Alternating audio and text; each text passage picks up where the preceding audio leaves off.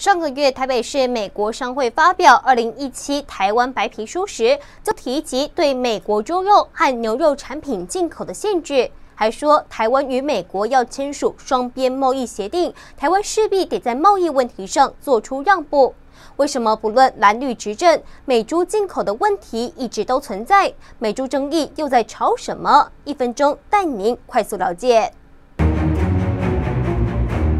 台湾自二零零五年起就已经开放猪肉进口，包括美国猪肉产品，其中以冷冻肉和杂碎占最大宗，每年占比约在百分之九十八到百分之九十九左右。其余项目包含生鲜冷藏肉、调制肉、肉罐头。换言之，目前争议的重点在于是否要开放含瘦肉精莱克多巴胺的美国猪肉进口。俗称瘦肉精的莱克多巴胺是一种贝塔促效剂药物，可被用来作为动物饲料添加物，用以助长猪、牛、火鸡生出肌肉，减少体脂肪。美国在制定的容许残留量下合法使用，但目前的实验数据无法确定其是否会对人体产生其他副作用。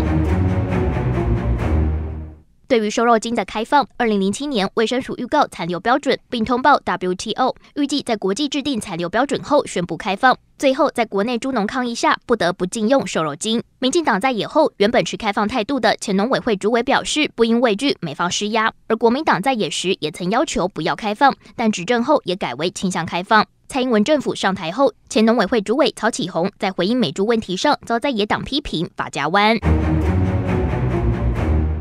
民进党政府对美猪的立场大致可归纳为：没有风险评估前不讨论开放。现任卫福部长陈时中曾表示，只要确保使用安全，不反对解禁。总统府日前回应，政府将在国际规范下采取科学证据的风险评估措施，作为保障国人食安的依据。整体而言，在有关双边经贸谈判上，政府乐见台美相关贸易沟通与合作持续进行。新唐人亚太电视整理报道。